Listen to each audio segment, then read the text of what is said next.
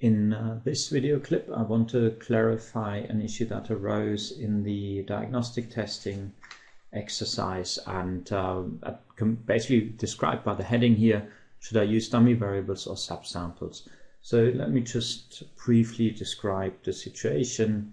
We had a model where as dependent variable we had fares, uh, airfares that is, and then we had let's start like this. Alpha plus alpha naught the constant plus alpha 1 times the distance plus alpha 2 times the average passenger numbers for a particular route. So i the index here is over different routes observations of prices um, market share of the largest airline and then we had three dummy variables uh, four dummy variables for 98 so if a particular observation came from 98 alpha 5 if it came from 99 and alpha 6 if it came from 2000 and an error term. Whew, that's a long one. So this was our relationship. And then the question uh, in the exercise was is there anything different about flights that involve New York? And uh, I asked you to uh, to perform an F test, and I gave you all sorts of information. Now, the two strategies. So, if you were in the tutorial, you will have seen the exact uh, the exact question. Uh, so here, I just want to outline the following. So we have um, i equals from 1 to 4,569. So that's how many observations we have. You can get the data, uh, you can get the data set, of course, from Blackboard. Now, of these, there were 300 flights or 300 observations that involved New York so either as origin or uh, destination. So what we could do now is we could provide a new dummy variable. Let's call that dny, but I have to break because Vanya, my daughter, just woke up. I'll come back. Okay, I'm back. So we can uh, generate a dummy variable which takes the value 1 if uh, New York is either origin or destination and 0 if uh, New York is not involved. Okay. So now the question was, is this relationship uh, in equation 1, is that the same for flights that uh, involve New York compared to those that do not involve New York. So if you want to do an F-test, you know you need a restricted and an unrestricted model. Now this model up here in 1 would be the restricted model. Why is that? Because it imposes the same values of the coefficient, all coefficients alpha naught to alpha 6, regardless of whether we are talking about an an observation that involves New York or not. So the question is, uh, how do we, uh, remember perhaps I should do that, why do we need restricted or unrestricted? Remember the F-test which we use, I don't go through the entire testing procedure here, um, is calculated as RSS restricted minus RSS unrestricted divided by uh, number of restrictions divided by RSS unrestricted and divided by the degrees of freedom of the unrestricted model.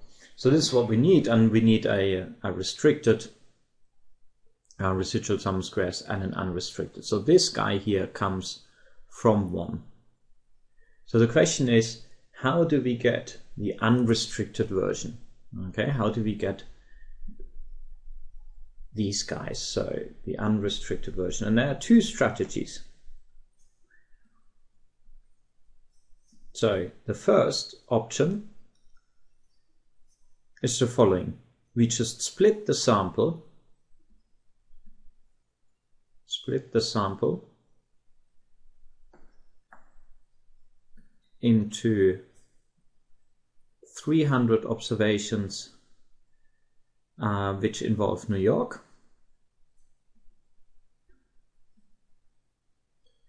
which involve New York. And then estimate model 1 and from that you get let's call it residual sum of squares 1 okay. And then sorry, uh, okay split the sample into I should say perhaps let me do that into A 300 observations which involve New York and we estimate the model for these observations and what we get is residual sum of squares A and then B the second subsample are the four, oh, I was wrong. It wasn't 300 observations, it was 296 observations that involve New York flights, okay? So, just correct that, that's important. 296 and here as well okay that wasn't 300 that was 296 and the remaining 4,300 observations. That's going to be the second subsample. Um, observations uh, not involving New York. Not involving New York. Then again we estimate model 1, but only for these observations. And from that we get residual sum of squares B and then the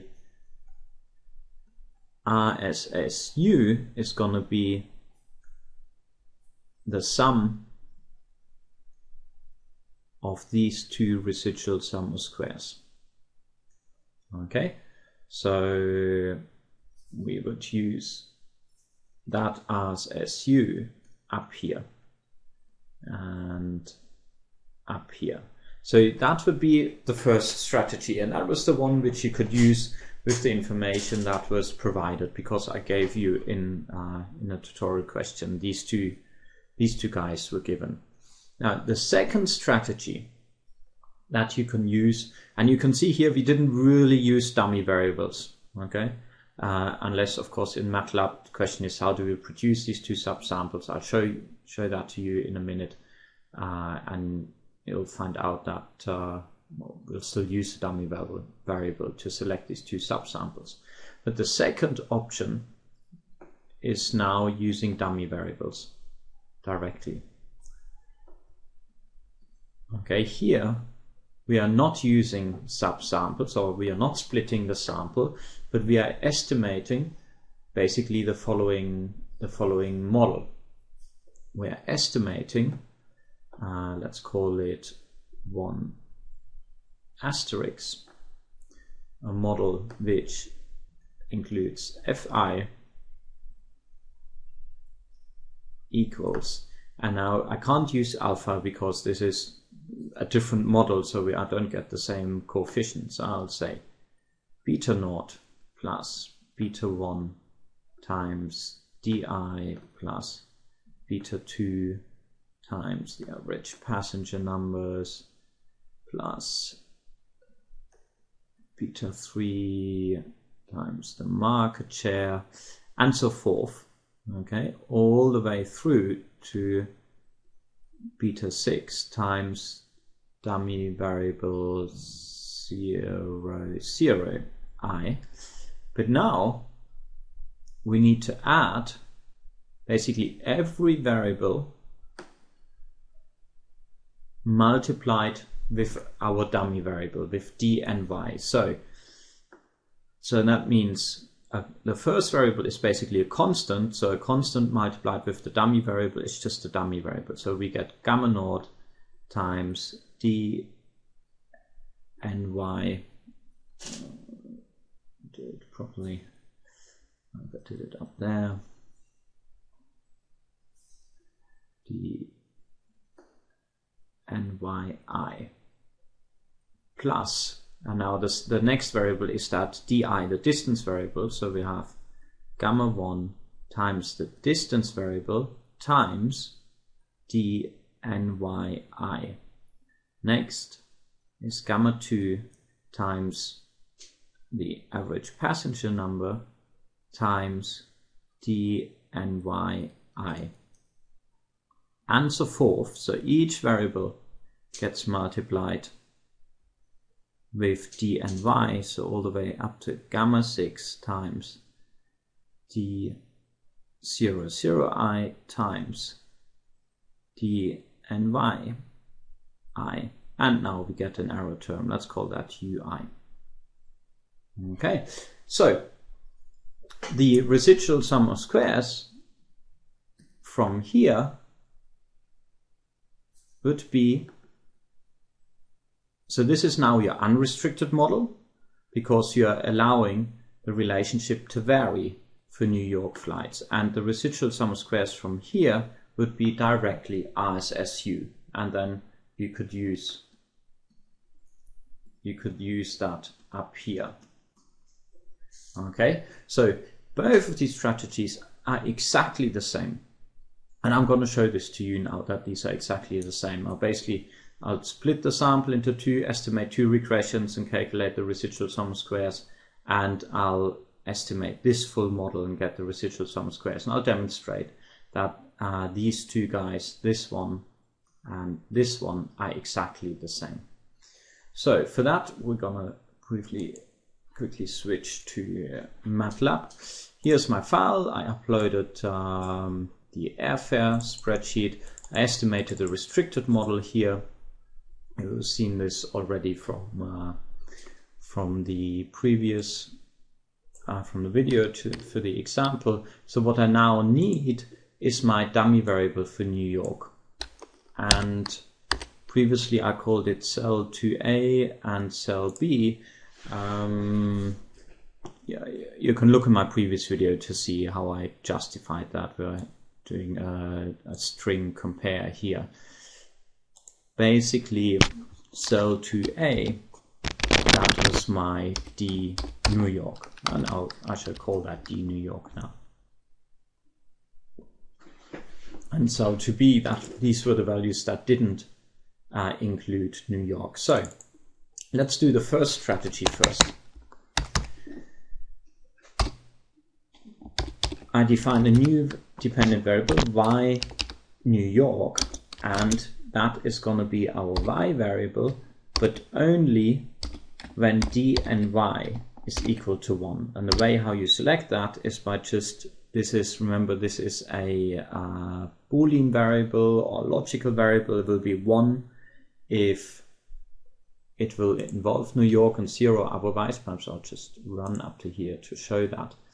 D and Y, where is that? D and Y has the same dimension as our original variable and it's zero in most observations, but every once in a while there will be a few ones, like here, row 77, 78, 79, and 80. That is because these flights involve New York, I think, as a destination in this case. So if I calculate d and y, I will just do that. Ah, sorry, if I calculate y and y as y equals, and then the logical variable d and y, what I get is, as you can see, a new vector with only 296 values for y, and these are the y values that correspond to those observations that involve New York flights. Now I want to do exactly the same with the with my x variable. So I'll define a new x variable n and y and that is equal to x. And then again we are collecting those rows where d and y is equal to 1 or true and all columns. y only had one column so we didn't need uh, this guy here. So and then once I do that I estimate a regression just with y and y and x and y and let me just call that uh, a. Mm, and residual sum of squares a. Okay so now doing this will give me uh, this residual sum of squares okay? The RSS A based on 296 observations. Then I need to estimate the second subsample. Basically I'll need to do exactly the same, but this time only select those flights that do not involve New York. That cell 2b logical variable is 1 if uh, the flights do not involve New York. And I'll just call that y New York n for not okay and x New York n for not and then I'll need to supply these two and I'll call the output BB and R's as. And then I want residual sum of squares unrestricted and I'll call that version 1 and that will be RSSA plus RSSB. Okay, so now I need the second strategy. Let's let's calculate that first and see what we get. So here uh, stopped. Here we've run everything. So now we have RSSA and RSSB. These are just two values. We'll uh, take care of them later. So now I want the second strategy. I want to include dummy variables. So in x we have our constant, then we have distance, uh, average passenger numbers, market share, and 10 columns 10, 11, and 12 are the dummy variables.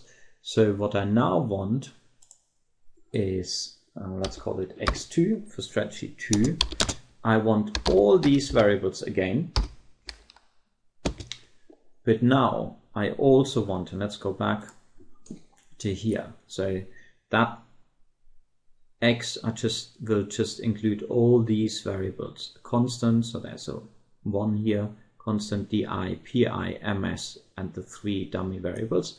And now I need extra variables. The d New York dummy variable di times d New York pi times d New York i and so forth. And the last one should be d naught naught i times d ny i so we can, um, so the first new variable should be dny. Then we need, let's do it from, from scratch. Scratch, we know that the distance is going to be in data, but in the fifth column. So we have this, but this now multiplied with d and y. I'll use the dot multiplication to indicate that this is element by element multiplication. So that is distance times d and y. Then we need uh, average passenger numbers. That was in column 6 times d and y. Then market share of the biggest, that was the eighth column times d and y then the three dummy variables, they were in columns 10, 11, oops, actually, so 10, 11, and 12. And I need to close the square bracket. So this is now our x2. If x had uh, 7 columns, x2 should now have 14 columns. Let us just check this. So we run the code. x2 will now have 14 columns indeed. You can see it here. And let's look at x2 and at x. And uh, we should see. Uh, let's just look at this. here's our x2 and we want to compare that with x. So the lower bit is x, the upper bit is x2. And you can see that when the first few flights, the dummy variable was zero for the first few flights, then the extra variables will just be zero as well because we're just multiplying everything with a zero. And Let's go further down. Think we had to go to 77, row 77. Yeah, here we go. In row 77, the dummy variable uh, was 1, and that means we are basically just replicating the first the first seven variables again. Okay, these guys will just be replicated again if the dummy variable is 1. So that's what that x2 uh, looks like. What we now need to do is we just need to run a new regression. The y variable hasn't changed in this case. We just extended the x variable. So we are regressing y on x2 and we'll get 14 parameters and I'll call the estimated parameters b2 and RSS, I call that RSS unrestricted underscore 2 for version 2. Okay, so we run this. And then, of course, I want to compare RSS underscore version 2 to RSS underscore U version 1 because I, I claimed that the two are the same.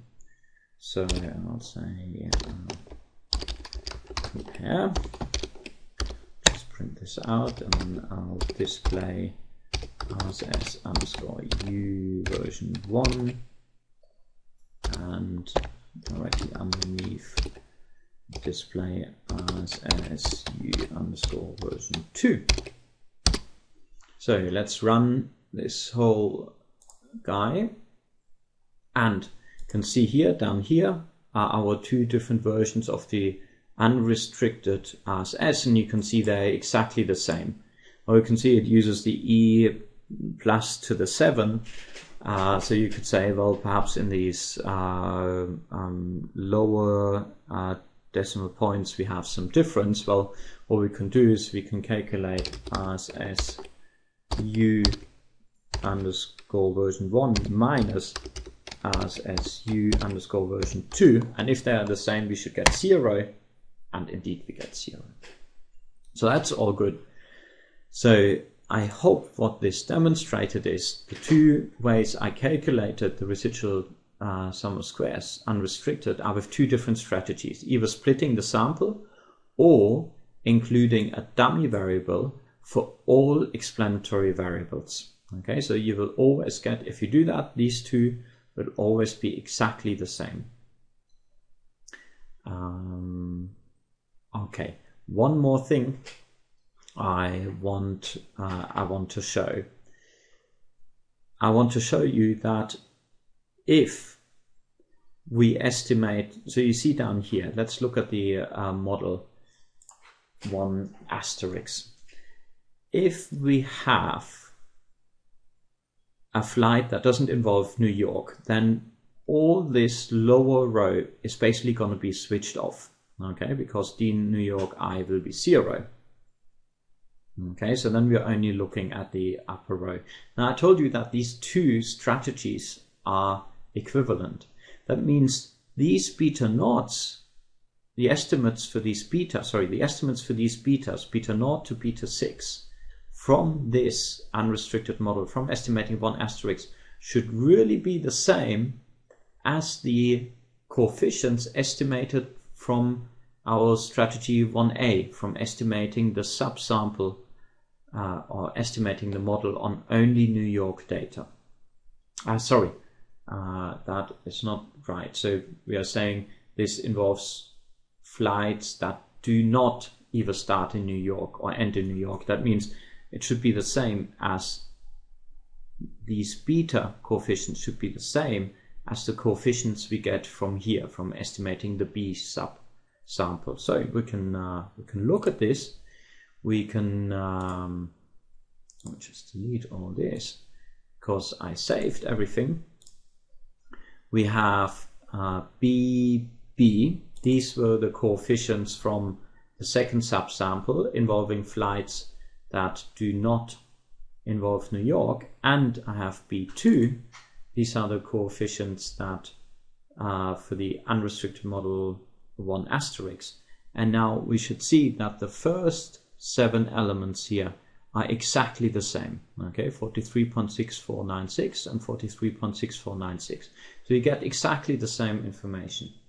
Now, what about uh, what about flights involving New York?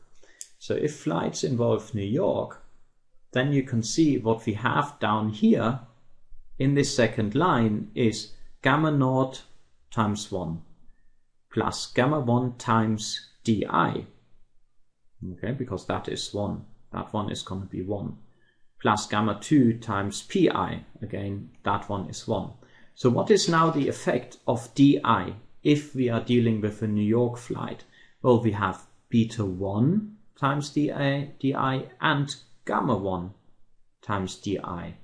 So really the effect of distance for New York flights is going to be our estimate for beta 1 plus the estimate for gamma 1.